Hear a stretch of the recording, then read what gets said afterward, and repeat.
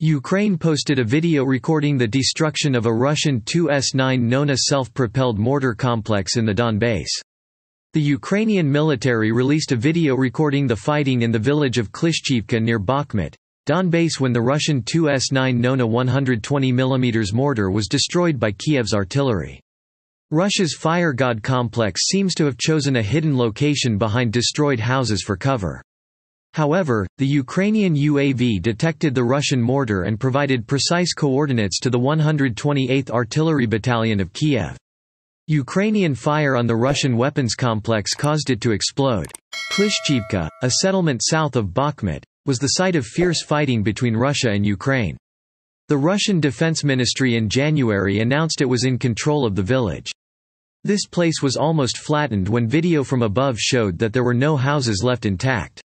Russia appears to be using the village to gain a favorable position to attack Bakhmut.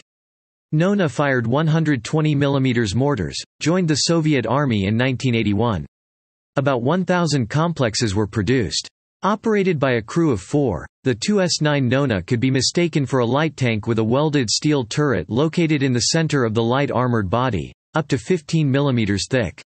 It is equipped with a 120 mm 2A51 smoothbore cannon, which is a combination of mortar and howitzer with a rate of fire of 10 revolutions per minute, an effective range of 8.8 .8 km with conventional ammunition and 12.8 km with special ammunition.